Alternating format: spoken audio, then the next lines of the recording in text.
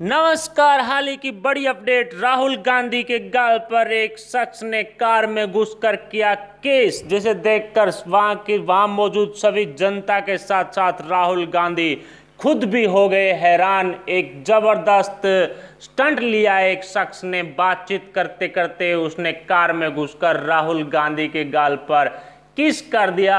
और देश में शायद राहुल गांधी की तरफ़ से यही देखना बाकी रहा था और वो भी कांग्रेस के पूर्व प्रेसिडेंट जो पूर्व अध्यक्ष थे, उन्होंने ये सब भी दिखा दिया है।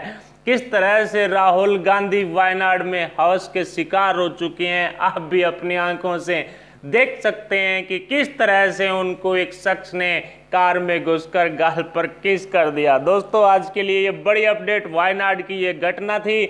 और पसंद आई हो तो लाइक ज़रूर कीजिएगा और साथ ही चैनल को सब्सक्राइब भी ज़रूर कर लीजिएगा ताकि भविष्य में भी हम आपको हर तरह की इस तरह की रोचक जानकारी देते रहें। आज के लिए इतना ही। जय हिंद, जय भारत।